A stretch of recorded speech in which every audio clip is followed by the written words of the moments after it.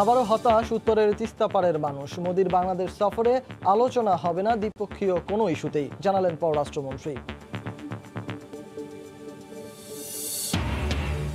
Corona সংক্রমণ বাড়তে থাকলে পেছাতে পারে শিক্ষা প্রতিষ্ঠান খোলার তারিখ, জানালেন শিক্ষামন্ত্রী। আগামী বছরই আসছে সব শ্রেণির পাঠ্যক্রমে পরিবর্তন।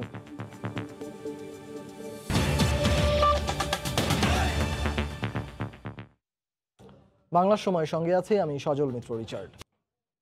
ভারতের প্রধানমন্ত্রী নরেন্দ্র মোদীর ঢাকা সফরে তিস্তা ইস্যুতে কোনো আলোচনা হবে না। সাফ জানালেন পররাষ্ট্রমন্ত্রী ডক্টর আব্দুল মোমেন।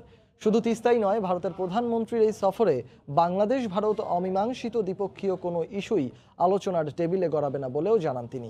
নরেন্দ্র মোদীর সফর পুরোটাই হবে স্বাধীনতার সুবর্ণ জয়ন্তীর উৎসব উদযাপন। পানির বদলে ধুধু বালিতে ঢাকা, তিস্তা। পানি শূন্যতার ক্ষতিকর প্রভাব পড়ছে উত্তরের জনপদ আর সেখানকার মানুষের জীবন জীবিকার ওপর। তিস্তা নদীর পানি বন্টন নিয়ে প্রতিবেশী দেশ ভারতের সঙ্গে উনিশশো তিরাশি সাল থেকে দর কষাকষি চললেও সুরাহা হয়নি আজও। সবশেষ দু সালের ডিসেম্বরে দুই দেশের সরকার প্রধানের মধ্যকার অনুষ্ঠিত হওয়া ভার্চুয়াল সম্মেলনে তিস্তা চুক্তির বিষয়ে বাংলাদেশকে আশ্বাস দিয়েছিলেন ভারতের প্রধানমন্ত্রী নরেন্দ্র মোদী। আর তাই স্বভাবতই চলতি মাসে নরেন্দ্র মোদীর ঢাকা সফর নিয়ে তিস্তা ইস্যুতে আশায় বুক বেঁধেছিল বাংলাদেশ। তবে পররাষ্ট্রমন্ত্রী ডক্টর আব্দুল মোমেন জানালেন নরেন্দ্র মোদীর সফরে তিস্তা ইস্যু নিয়ে কোনো আলোচনাই হবে না।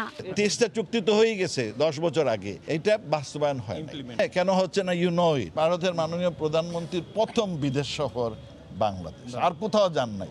এই কোভিডের কোথাও যান নাই। উনি আমাদের প্রত্যন্ত অঞ্চলেও যাবেন। সাতক্ষীরায় যাবেন। আপনার গোপালগঞ্জে যাবেন।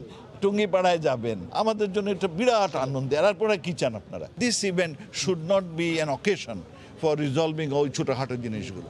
পাশাপাশি বাকি নদীগুলোর পানি কিংবা সীমান্ত হত্যার মতো দুই প্রতিবেশী দেশের মধ্যকার অমীমাংসিত ইস্যুগুলো উঠবে না আলোচনার টেবিলে। আমাদের এই বড় উৎসবে সব এসেছে আমরা সেতেই আনন্দিত। আর অন্যান্য ছোটোখাটো জিনিস এইগুলো আমরা তো ভারতের সাথে আমাদের যত ধরনের বড় বড় সমস্যা সব আমরা আলোচনার মধ্যে দূর করেছি। আর যদি আরও কিছু থাকে সেগুলো আস্তে আস্তে করব। ভারতের প্রধানমন্ত্রীর এবারের সফর শুধুই বাংলাদেশের মহান স্বাধীনতার সুবর্ণ জয়ন্তীর মধ্যে সীমাবদ্ধ থাকবে জানান পররাষ্ট্রমন্ত্রী। মার্জিয়া মুমু সময় সংবাদ ঢাকা। করোনা সংক্রমণ বাড়তে থাকলে শিক্ষা প্রতিষ্ঠান খোলার তারিখ পেছাতে পারে বলে জানিয়েছেন শিক্ষামন্ত্রী দীপু মনি।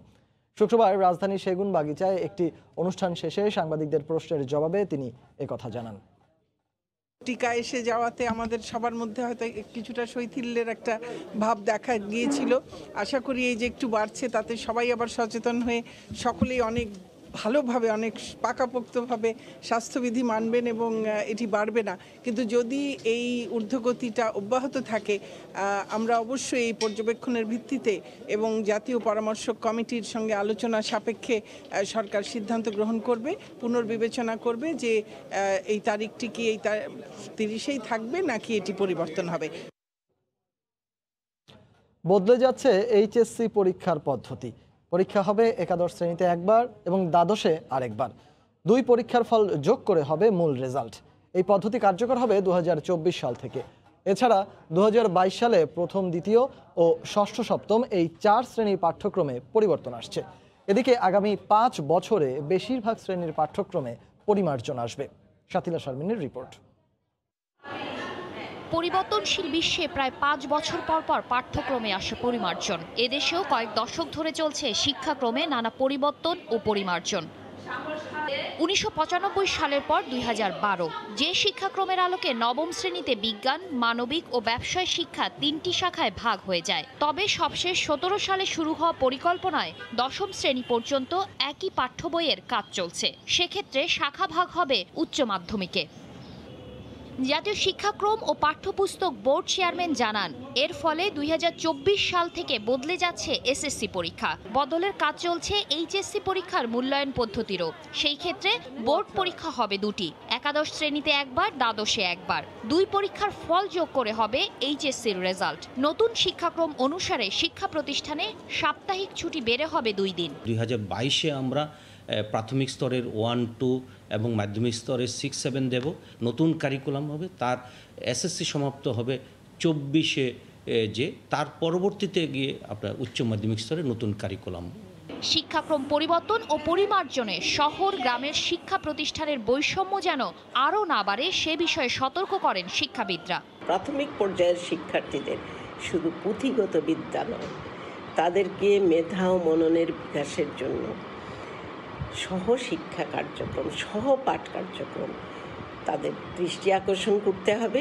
উপর থেকে সিদ্ধান্ত চাপিয়ে না দিয়ে মাঠ পর্যায়ের বাস্তবতার আলোকে পরিকল্পনা প্রয়োজন বলে পরামর্শ তাদের। গ্রামে গঞ্জে যারা ছাত্রদের পড়াচ্ছে তাদের মতামতটা কিন্তু তাদের প্রতিনিধিত্ব কিন্তু এখানে কেউ করছে না। যার ফলে দেখা যাচ্ছে যে শিক্ষার ক্ষেত্রে যে সিদ্ধান্তগুলো হচ্ছে সেই সিদ্ধান্তগুলো অনেকটাই আমলাতান্ত্রিক হয়ে যাচ্ছে। নতুন সময়সীমা অনুসারে তেইশ সালে তৃতীয় চতুর্থ পঞ্চম এবং অষ্টম নবম শ্রেণীতে চব্বিশ সালে দশম এবং ২৬ সালের মধ্যে দ্বাদশ শ্রেণির নতুন বইয়ের কাজ শেষ হবে। শাতিলা শারমিন সময় সংবাদ ঢাকা। পাখির কলতানে যেখানে আড়মোড়া ভাঙে নিশিকান্ত প্রকৃতির হাকালুকি হাওরের পানে ছুটে চলা পাখিরা জাগিয়ে যায় পুরো জনপদকে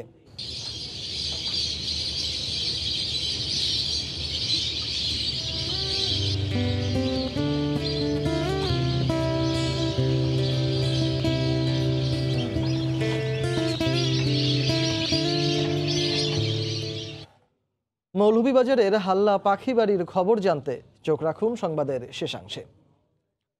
নোয়াখালীর বসুরহাটে মঙ্গলবারের সংঘর্ষের জেরে এখনও থমথমে অবস্থা বিরাজ করছে।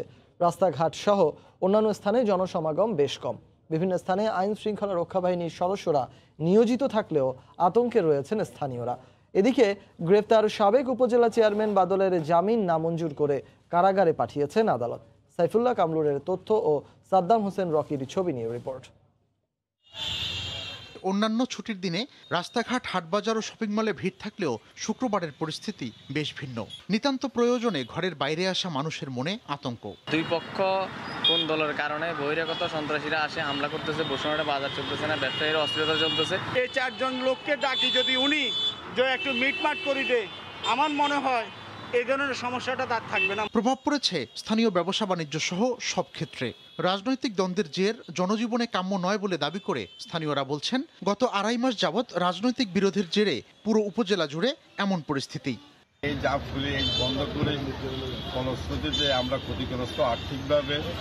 দীর্ঘ তিন মাস পর্যন্ত তারা দোকান করতে পারতেছে না তাদের ঘর ভাড়া দিতে পারতেছে না। আমরা চাই যে এইসব হ্যান্ডেড বাহিনী টাইনি এগুলো বন্ধ হয়ে যাক। বা এই সহিংসতা থেকে মুক্ত চাই রাজনীতি থানা থেকে মুক্ত চাই। আমরা চাই শান্তি। পুলিশ সহ আইন শৃঙ্খলা বাহিনীর সদস্যদের উপস্থিতি গুরুত্বপূর্ণ স্থানগুলোতে। তারা জানান অপ্রীতিকর ঘটনা এড়াতে দায়িত্ব পালন করছেন। এদিকে মঙ্গলবারের সংঘর্ষের ঘটনায় পৌরসভার নৈশ প্রহরী বাদী হয়ে মামলা করেন। এতে মিজানুর রহমান বাদল এবং নিরানব্বই জনের নাম উল্লেখ সহ আরও আড়াইশো থেকে তিনশো জনকে আসামি করা হয়। বৃহস্পতিবার মিজানুর রহমান বাদলকে গ্রেপ্তার করে আদালতে নেওয়া হলে তাকে জেল হাজতে পাঠানোর নির্দেশ দেওয়া এই মুহূর্তে বসুরহাটে আছেন সহকর্মী সাইফুল্লাহ কামরুল। বিস্তারিত জানতে সরাসরি চলে যাব তার কাছে। কামরুল ধন্যবাদ, রিচার্ড। আপনি জানেন নোয়াখালীর কোম্পানিগঞ্জের বসুরহাট পৌরসভার নির্বাচন কেন্দ্র করে আওয়ামী লীগের দুই গ্রুপ আব্দুল কাদের মির্জা এবং উপজেলা সাবেক উপজেলা চেয়ারম্যান মিজানুর রহমান বাদলের মধ্যে সংঘর্ষে একজন সাংবাদিক সহ দুইজন মারা যায়। এই ঘটনার জের ধরে গতকাল সাবেক উপজেলা চেয়ারম্যান মিজানুর রহমান বাদলকে পুলিশ গ্রেপ্তার করে। আজকে দুপুরে একটায় মিজানুর রহমান বাদলকে কোম্পানিগঞ্জ আজকে দুপুর একটা মিজানুর রহমান বাদলকে জুডিশিয়াল ম্যাজিস্ট্রেট আদালতে হাজির করা হয়। ম্যাজিস্ট্রেট শহীদুদ্দিন খানের তাকে জেল হাজতে প্রেরণ করেন। এর প্রতিবাদে মিজানুর রহমান পরিবারের স্ত্রী সেলিনা আক্তার কাকুলি আজকে তার বাড়িতে একটি সংবাদ সংবাদ সম্মেলনের আয়োজন করে। তার দাবি মিজানুর রহমান বাদল যখন উপজেলা চেয়ারম্যান ছিলেন, তিনি তখন চট্টগ্রাম বিভাগের মধ্যে শ্রেষ্ঠ উপজেলা চেয়ারম্যান ছিলেন। তিনি কোম্পানিগঞ্জ উপজেলা আওয়ামী লীগের সেক্রেটারি ছিলেন। তাকে অন্যায়ভাবে গ্রেপ্তার করা হয়েছে। তিনি তার মুক্তির জন্য মাননীয় প্রধানমন্ত্রী এবং সড়ক ও সেতু মন্ত্রীর সহযোগিতা কামনা করেন। একই পাশাপাশি তিনি অভিযোগ করেন যে আলাউদ্দিন মারা গিয়েছে। সে আলাউদ্দিনের পরিবার একটি মামলা দায়ের করতে গিয়েছিল আব্দুল কাদের মির্জাকে প্রধান আসামি করে, কিন্তু কোম্পানিগঞ্জ থানার পুলিশ তার মামলাটি গ্রহণ করেনি। তিনি এই মামলাটি গ্রহণ করার জন্য এবং আব্দুল কাদের মির্জাকে গ্রেপ্তার করার জন্য কাকুলি দাবি করেন। অন্যদিকে আজকে সকালে এবং বিকেলে দুইবারে বসিরহাট পৌরসভার মেয়র আব্দুল কাদের মির্জা বসিরহাট পৌর এলাকার বিভিন্ন ব্যবসায়ীদের সাথে হাঁটাহাঁটি করে, দেখা করে তাদেরকে আশ্বস্ত করতেছেন যে তারা যাতে স্বস্তিতে থাকে, শান্তিতে থাকে। অন্যদিকে আইন শৃঙ্খলা নিয়ন্ত্রণে নোয়াখালীর এই বসুরহাটে কোম্পানি প্রায় তিনশো শতাধিক পুলিশ আছেন এবং পুলিশের দশজন কর- কর্মকর্তা রয়েছেন। যাতে করে এরা দশটি পয়েন্টে ভাগ করে জনগণের নিরাপত্তা দিচ্ছেন এবং জনগণকে স্বস্তিতে আনার জন্য, ব্যবসায়ীদেরকে থানায় আনার জন্য তারা চেষ্টা করেছেন। এছাড়া বিভিন্ন জায়গাতে পুলিশের টহল দিচ্ছেন। টহল দিয়ে জনগণের মাঝে একটা স্বস্তি ফিরিয়ে আনার জন্য, ব্যবসায়ীদের মধ্যে স্বস্তি ফিরিয়ে আনার জন্য তারা চেষ্টা করেছেন। রিসার্চ, এই ছিল নোয়াখালীর কোম্পানিগঞ্জের বসিরহাট থেকে আমার কাছে সর্বশেষ তথ্য। নোয়াখালীর বসুরহাট থেকে সেখানকার সবশেষ খবরাখবর জানাচ্ছিলেন সহকর্মী সাইফুল্লাহ কামরুল। বাংলা সময় আরও থাকছে। সাপ্তাহিক ছুটিতে কক্সবাজার সমুদ্র সৈকতে পর্যটকের ঢল, হোটেলে মোটেলে জমজমাট ব্যবসা, নেই স্বাস্থ্যবিধির বালাই ট্যুরিস্ট পুলিশ ও কোস্ট গার্ডের বিশেষ সতর্কতা। সাপ্তাহিক ছুটির দিনে কক্সবাজারে পর্যটকের ঢল। পরিবার, পরিজন বন্ধু বান্ধব নিয়ে সৈকতে মেতেছেন আনন্দে। হোটেল মোটেলেও জমজমাট ব্যবসা। স্বাস্থ্যবিধি মেনে চলতে প্রশাসনের পক্ষ থেকে মাইকিং করা হচ্ছে। আরও জানাচ্ছেন সুজাউদ্দিন রুবেল। দৃষ্টির সীমা ছাড়ানো সৈকত আর উছলে পড়া প্রাকৃতিক সৌন্দর্য যেখানে গর্জন তোলা ঢেউ হাতছানি দেয় সৌন্দর্য পিপাসুদের। সাপ্তাহিক ছুটির দিনে পর্যটকদের গন্তব্য এখন সমুদ্র সৈকত কক্সবাজার। তবে প্রশ্ন উঠেছে করোনা উপেক্ষা করে সমুদ্রের ঢেউ উপভোগকারীরা কতটা সচেতন? পানিতে নেমে তো আর মাস্কটা ইউজ করা পসিবল না। তো পানিতে যখন নামছি তখন মাছটা আমাকে রেখেই নামতে হচ্ছে আমি মাছ পড়ছি যেহেতু হারিয়ে গেছে তো এখন পর পাবার নেই। এখন পরিস্থিতিটা আমরা স্বাভাবিক মনে করতেছি এজন্য আসলে আমাদের এখন মনের শক্তিটাই বড় শক্তি হয়ে গেছে। প্রশাসনিক যে লোকগুলো আছে এরা তো কোনো নির্দেশনা দিচ্ছেও না বরং পাবলিকেরা এগুলা মান- মানার চেষ্টা করতেছে না। স্বাস্থ্যবিধি মানতে যেমন পর্যটকদের অনীহা ঠিক তেমনি প্রশাসনের পক্ষ থেকে পর্যটন ব্যবসায়ীদের নানা বিধিনিষেধ দিলেও তা মানছেন না ব্যবসায়ীরা। দিচ্ছেন নানা অজুহাত। আশা করি আমাদের বাংলাদেশে করোনা নাই চলে। এই জন্য আমরা এইটা করোনার বই ভীতি এখন চলে গেছে। মাঝে মধ্যে পড়া যায় না হয়তো এরকম এমনি আছে ভিতরে রাখি মাস্ক পরি। আর প্রবেশদ্বারে মাইক ও সাইনবোর্ড টাঙিয়ে দায়িত্ব শেষ প্রশাসনের। সৈকতে নেই কোনো সচেতনতামূলক প্রচার প্রচারণা। তবে ট্যুরিস্ট পুলিশ বলছে মাস্ক ছাড়া সমুদ্র সৈকতে পর্যটকদের ঢুকতে বাধা দিলে বিরক্ত হন তারা। করোনা পরিস্থিতিতে আমরা মাইকিং করি মাস্ক পরিহিত অবস্থায়। মানে বিচে প্রবেশ করার জন্য। এক্ষেত্রে দেখা যায় অনেকে মানে অনেকে মানে না। তারপর আমরা আমাদের দায়িত্ব পালন করে থাকি। করোনায় গত মার্চ থেকে আগস্ট পর্যন্ত বন্ধ ছিল কক্সবাজারের সমুদ্র সৈকতে পর্যটকদের প্রবেশ। এরপর পুরোদমে আনাগুনা বাড়লেও খুব একটা গুরুত্ব পাচ্ছে না স্বাস্থ্যবিধি। সুজাউদ্দিন রুবেল সময় সংবাদ কক্সবাজার। লোকবল নিয়োগে রেলের নীতিমালা চূড়ান্ত হয়েছে বলে জানিয়েছেন রেলমন্ত্রী মোহাম্মদ নুরুল ইসলাম সুজন। পনেরো দিনের মধ্যে দশ থেকে পনেরো হাজার লোকবল নিয়োগ বিজ্ঞপ্তি প্রকাশ করা হবে বলেও জানান তিনি। দুপুরে রাজশাহী রেলওয়ে স্টেশন রেলওয়ের বিভিন্ন স্থাপনা পরিদর্শন শেষে সাংবাদিকদের প্রশ্নের জবাবে তিনি একথা বলেন। দেশ স্বাধীনের পরে আমাদের জনবল ছিল প্রায় আটষট্টি হাজার। অত পঞ্চাশ বছর পরে সে রেল আমাদের এখন জনসংখ্যা মাত্র পঁচিশ হাজার। আমরা লোকোমোটিভ বাস্তবের অভাবে আমরা ট্রেন চালাতে পারছি রেলের আমাদের নিজস্ব যে সক্ষমতা, এটা আমরা বৃদ্ধির জন্য আমরা চেষ্টা করছি। নিষেধাজ্ঞা সত্ত্বেও মাওয়ার আড়তে ইলিশের সমারোহ। চাহিদা বেশি থাকায় ইলিশ বিক্রি হচ্ছে চড়া দামে। আড়তটিতে নিষিদ্ধ জাটকা বিক্রি হচ্ছে প্রকাশ্যে। বিস্তারিত নাসিরুদ্দিন উজ্জ্বলের রিপোর্টে আর ক্যামেরায় ছিলেন আবু সাইদ। এমন বড় বড় ইলিশের সয়লাভ মুন্সিগঞ্জের মা মৎস্য আড়ত অভয় আশ্রমগুলোতে তিরিশ এপ্রিল পর্যন্ত সব ধরনের মাছ ধরা নিষিদ্ধ থাকলেও মুন্সিগঞ্জের বাইরে পদ্মার তাজা ইলিশ কিনতে ছুটির দিন ভোরেই রাজধানী ঢাকা সহ নানা এলাকা থেকে ক্রেতাদের ভিড়। বিক্রেতারা বলছেন, ফাল্গুনের শেষ দিকে এমন বড় ইলিশ পাওয়া বিরল। কিন্তু পদ্মায় জেলেদের জালে এখন ঝাঁকে ঝাঁকে বড় ইলিশ ধরা পড়ছে। তবে সরবরাহের তুলনায় ক্রেতা বেশি থাকায় ইলিশের দাম এই সপ্তাহেও চড়া। বড় ইলিশের কেজি হাঁকা হচ্ছে এক হাজার থেকে এগারোশো টাকা। আর সাতশো গ্রাম থেকে আটশো গ্রামের নতুন ইলিশ বিক্রি হচ্ছে সাতশো থেকে আটশো টাকায়। বাজারে মাছের চাহিদাটা বেশি কিন্তু দামটাও বেশি। দেখে পানটা জুড়ে যায় কিন্তু দামটা অনেক চড়া। সাগরে ধরা বন্ধ তো এই কারণে ইলিশটা উঠে আসতেছে। কাস্টমার নিয়ে খুব খুশি। অবৈধ কারেন্ট জাল বন্ধ করা গেলে ইলিশের উৎপাদন কয়েক গুণ বাড়বে। পেটের দায় এগুলি বিক্রি করি আমরা আমরা এগুলি ধরি না আমরা গাড়ে কিনি বুঝছেন? আমরা তো জানলাম না। কারেন্ট জাল না থাকলে ইলিশ আরও দশ গুণ বৃদ্ধি বেশি হইতো। পদ্মা তীরে আড়তটিতে দুই ঘন্টায় বিক্রি হয় প্রায় কোটি টাকার মাছ। আড়তদাররা বলছেন ভোরের এই দেশসেরা ইলিশের হাটে উনত্রিশটি আড়ত ঘিরে প্রায় দু হাজার মানুষের রুটি রুজি। নাসিরুদ্দিন উজ্জ্বল সময় সংবাদ মাওয়া মুন্সিগঞ্জ। এখানে পাখিরা থাকে শান্তি ও স্বস্তির আবাস গড়ে। কলতানে আড়মোড়া ভাঙে নিশিক্লান্ত প্রকৃতির। এরপর হাকালুকির পানে ছুটে চলা ঝাঁকে ঝাঁকে পাখি জাগিয়ে দিয়ে যায় পুরো জনপদ। মৌলুইবাজারের বড়লেখা উপজেলার বাড়িটি পরিচিতি পেয়েছে হাল্লা পাখি বাড়ি নামে। শাহ অলিদুর রহমানের তথ্য ছবি নিয়ে রিপোর্টে থাকছে বিস্তারিত। এশিয়ার বৃহত্তম হাওর হাকালুকির পারে তালিমপুর ইউনিয়নের হাল্লা গ্রামের মনোহর আলী মাস্টারের বাড়ি। সে নামে অনেকেই চিনতে পারবেন না এখন। যদি বলা হয় পাখি বাড়ি তবে সহজেই চিনতে পারা যায়। নামের রূপান্তর কেবল পাখির কারণে।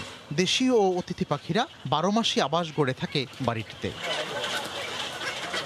এলাকাবাসী জানান সারা বছরের খাদ্য নিরাপত্তা উপদ্রবহীন বসতি পাওয়া সহ নানা কারণে পাখিদের কাছে প্রিয় জায়গা হাওর পাড়ের গাছগাছালি। লক্ষ পাখি সন্ধ্যার সাথে সাথে সব বিলের জিলের পাখিগুলো ওখানে গিয়ে সমাবেশ হবে। শীত মৌসুমে পাখির অভয়ারণ্য এখানে আছে। একসঙ্গে এত পাখির মহাসমারোহীন আনন্দ বিনোদন খুনসুটি ছলাকলা দেখে মুগ্ধ আগতরা। সূর্যাস্ত দেখেছি পাখি বাড়ি দেখেছি সত্যি অনেক সুন্দর। জায়গাটাকে যদি পর্যটন কেন্দ্র হিসাবে উদ্যোগ নেয় পর্যটন যারা এখানে আসবে তাদের জন্য অনেক মানে দেখার বা আসার একটা সুযোগ হবে। বাসিন্দারা জানান দিনে দিনে পাখি আর মানুষের মিতালি যেন আরও গভীর থেকে গভীরতর হয়েছে। পাখিগুলা বইবার স্থান নাই আমার ঘর দরজাও তো নষ্ট রই তো। পাখি যদি শান্তি থাকে তো আমরা খুশি। দুই বছর পর পর টিন পাল্টাইতে হয় তারপরে আমরা এগুলো সার দিচ্ছি। এই পাখিদেরকে মানে আরামে থাকতে দেওয়ার জন্য। পাখি সংরক্ষণ ও হাকালুকি হাওর কেন্দ্রিক পর্যটন উন্নয়নে সরকারের প্রয়োজনীয় উদ্যোগের কথা জানালেন বড়লেখা উপজেলা নির্বাহী কর্মকর্তা। পাখিদের একটা নিরাপদ আশ্রয়স্থল হিসেবে গড়ে তোলার জন্য ইতিমধ্যে বিস্তারিত পরিকল্পনা গ্রহণ করা হয়েছে। বাড়ির লোকজন জানান দিন দিন পরিচিতি বাড়ায় পাখি শিকার ও উত্তক্ত করা বন্ধে কাজ করছেন এলাকাবাসীও। সময় সংবাদ মৌলভীবাজার। বাংলার সময়ের শীর্ষ সংবাদ জানিয়ে দিচ্ছি আরেকবার। করোনা সংক্রমণ বাড়তে থাকলে পেছাতে পারে শিক্ষা প্রতিষ্ঠান খোলার তারিখ জানালেন শিক্ষামন্ত্রী। আগামী বছরই আসছে সব শ্রেণির পাঠ্যক্রমে পরিবর্তন। আবারও হতাশ উত্তরের তিস্তাপাড়ের মানুষ, মোদির বাংলাদেশ সফরে আলোচনা হবে না, দ্বিপক্ষীয় কোনো ইস্যুতেই, জানালেন পররাষ্ট্রমন্ত্রী।